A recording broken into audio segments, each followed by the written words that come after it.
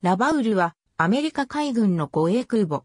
コメンスメント米級航空母艦の17番艦。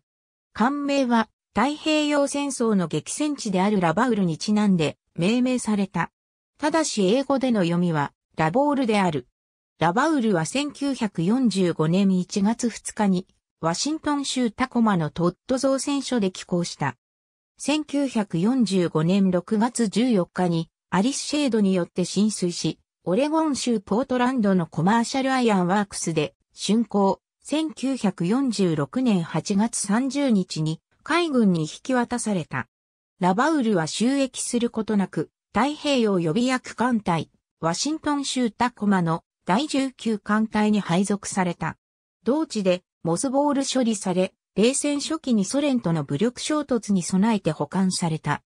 1955年6月にケ -121 に艦種変更され、1958年6月にサンディエゴに開港され、太平洋予備役艦隊入りする。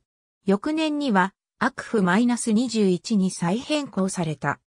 ラバウルは1971年9月1日まで、サンディエゴの予備役艦隊で保管され、除籍後は1972年8月25日にカリフォルニア州ビバリーヒルズのニコライ・ジョフィ社にスクラップとして売却された。